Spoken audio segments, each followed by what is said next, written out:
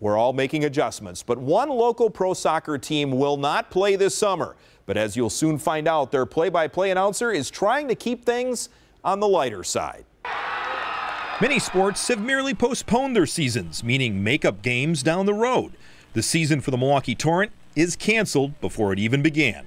On the male side, I have fathers playing. So they have their family already, but they're also sons, they're brothers.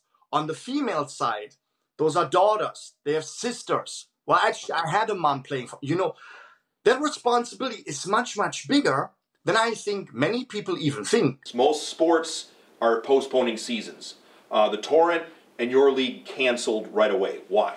Well, because I don't feel that uh, I can secure my players, fans, staff, everybody that is involved in a home or away game for the Milwaukee Torrent. I don't feel we can secure an environment where we can make sure everybody is safe. And that's the biggest thing. And uh, we actually made that decision before the league announced it. For Andy Davi, it's as much about the fans as the torrent. Without our community, we wouldn't exist.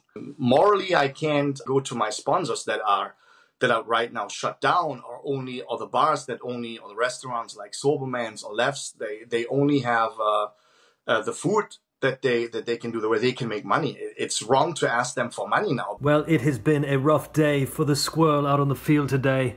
And that's where play-by-play announcer Simon Provan comes in, keeping up his chops by calling squirrel races.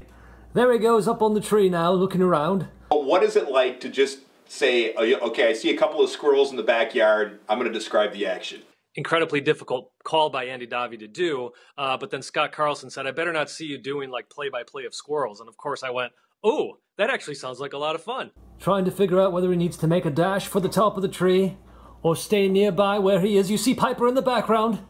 Oh, Piper missing the chance to scare these squirrels.